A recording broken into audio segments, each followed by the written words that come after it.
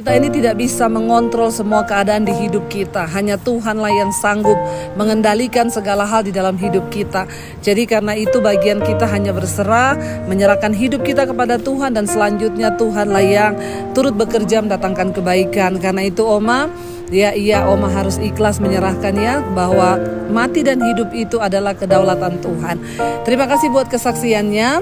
Baik kita akan melanjutkan pembacaan firman Tuhan malam hari ini saudara. Kemarin kita sudah sampai di, di, di Hosea, maaf ya Hosea pasal yang keempat.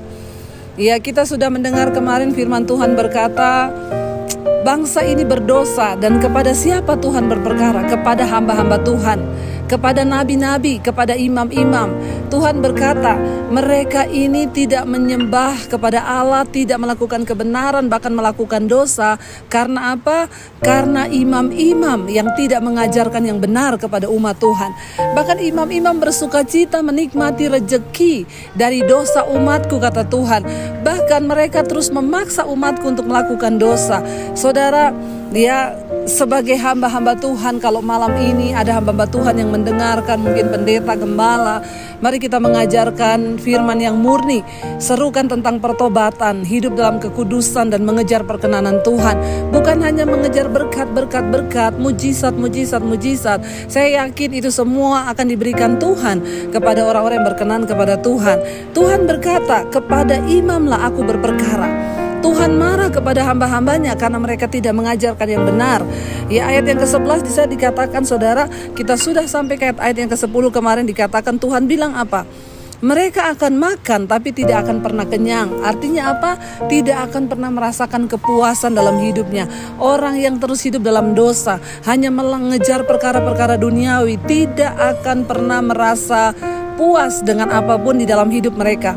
Tuhan berkata, "Kamu akan makan tapi tidak akan kenyang," kata firman Tuhan. Ya, sekarang kita lanjut ayat yang ke-11 ya. Kemarin kita sampai ayat yang ke-11. Ya, anggur dan air anggur menghilangkan daya pikir. Bahkan karena kenikmatan dosa, orang tidak lagi bisa berpikir sehat.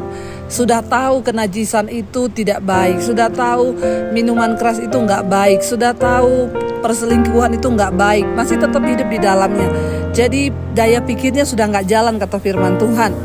Ayat yang ke-13 sekarang, ya mereka mempersembahkan korban di puncak-puncak gunung, membakar korban di bukit-bukit, ya, dan mereka meninggalkan penyembahan yang benar kepada Tuhan.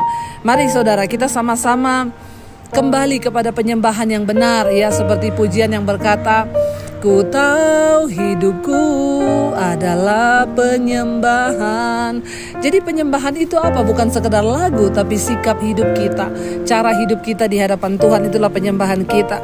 Ayat yang ke-14 berkata, Ya seperti biasa saudara saya sudah mengingatkan saya tidak menulis ayat di layar.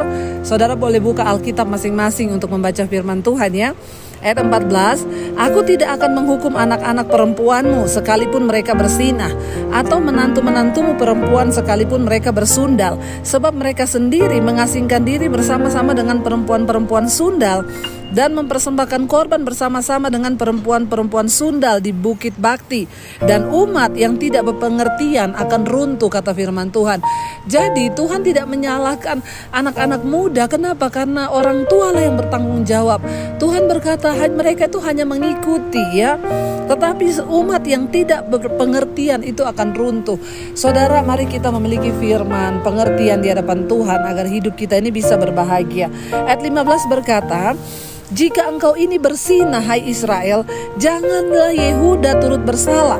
Janganlah pergi ke Gilgal, janganlah naik ke Bet Awen, dan janganlah bersumpah demi Tuhan yang hidup. Ya, Ayat yang ke-16, sebab Israel degil seperti lembu yang degil.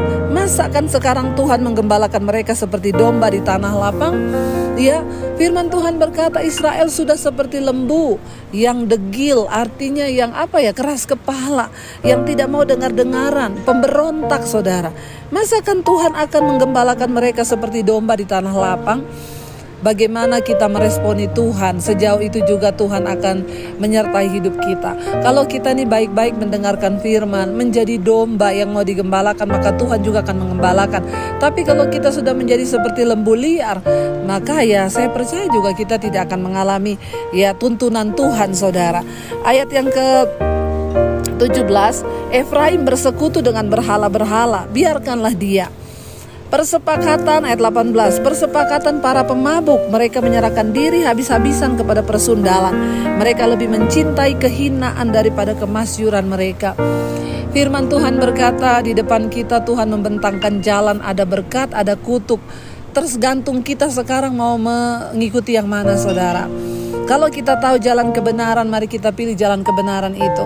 Ya, kenapa saudara? Karena firman Tuhan berkata, ya orang Israel, umatku itu, mereka lebih mencintai kehinaan daripada kemasyuran. Karena itu saudara, kemarin Tuhan sudah ya mengingatkan firman Tuhan mengingatkan kepada kita untuk apa? Ya Tuhan itu sudah menyediakan kemuliaan bagi kita. Tapi sering kali kita lebih memilih kehinaan daripada kemuliaan. Di ayat yang terakhir ayat 19, angin melingkupi mereka dalam sayap-sayapnya dan mereka akan mendapat malu karena korban-korban mereka. Saudara, ya orang yang tidak melakukan kebenaran itu hanya akan mendapat malu. Ya mari kita bertobat selama masih ada waktu, selama masih ada kesempatan. Mari kita mau sungguh-sungguh mengenal Tuhan, mengikuti jalan kebenarannya dan sungguh-sungguh mengikuti apa yang Tuhan mau. Terima kasih buat semua ya uh, kerinduan saudara. Saya percaya saudara itu terus rindu menunggu mesbah doa. Makanya sesibuk apa pun saya ya saya akan tetap berusaha melayani karena saya tahu ini adalah penggembalaan di dalam mesbah doa bagi saudara yang terus rindu melakukan kebenaran dan hidup di dalam perkenanan Tuhan. Karena itu saudara mari kita berlomba untuk masuk dalam perkenanan Tuhan di hari-hari terakhir ini agar kita boleh semakin mendapatkan kemasyuran dan kemuliaan. Mari kita tundukkan kepala kita berdoa. Bapak dalam nama Yesus terima kasih buat hari ini kami mengucap syukur firman-Mu kembali mengingatkan kami untuk kami boleh melakukan kebenaran, meninggalkan dosa, berpaling kepada jalan-Mu agar kami menerima kemuliaan dan kemasyuran. Kami tidak ingin menggantikan kemuliaan dengan kehinaan. Seringkali hidup kami menjadi terhina. Kami mengalami sesuatu yang buruk itu karena upah dosa yang kami lakukan. Ampuni kami Tuhan, bawa kami proses kami. Yang penting kami boleh berjumpa dengan perkenanan-Mu. Berkati Tuhan Tuhan hamba-hambamu di mana saja berada kami boleh menjadi imam-imam yang benar yang menyampaikan isi hati Tuhan di dalam kemurnian. Berkati semua anak-anakmu Tuhan yang rindu dan selalu setia mengikuti mesbah doa. Apa pun pergumulan yang sedang mereka hadapi bahkan apa pun Tuhan yang sedang mereka hari-hari ini pergumulkan Tuhan turut bekerja mendatangkan kebaikan.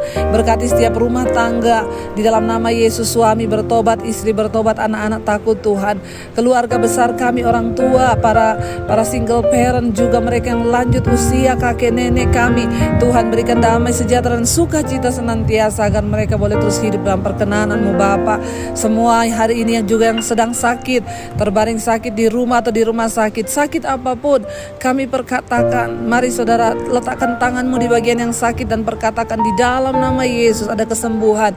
Kami percaya tidak ada perkara yang mustahil bagi Tuhan. Kami juga berdoa, Tuhan kalau hari ini banyak yang terinfeksi infeksi COVID Tuhan juga memberikan kesembuhan dalam nama Tuhan Yesus. Bapak Engkau terus memberkati mereka yang terikat dengan kenajisan percabulan obat-obatan terlarang rokok yang terikat dengan perselingkuhan yang terikat dengan kemabukan yang terikat dengan uh, kenajisan yang terikat dengan amarah kepahitan ketakutan kecemasan obat tidur obat-obatan terlarang narkoba. Kami berdoa Tuhan lepaskan dalam nama Yesus. Terima kasih Bapak. Kami menyerahkan juga bangsa dan negara kami Indonesia dalam tangan Tuhan berkati bangsa kami mulai dari Sabang sampai Merauke Tuhan lawat dan jama. Tidak ada orang yang Tuhan eh, berkekurangan karena Engkau juga Tuhan yang menjadi Allah Yehova Jireh mencukupi.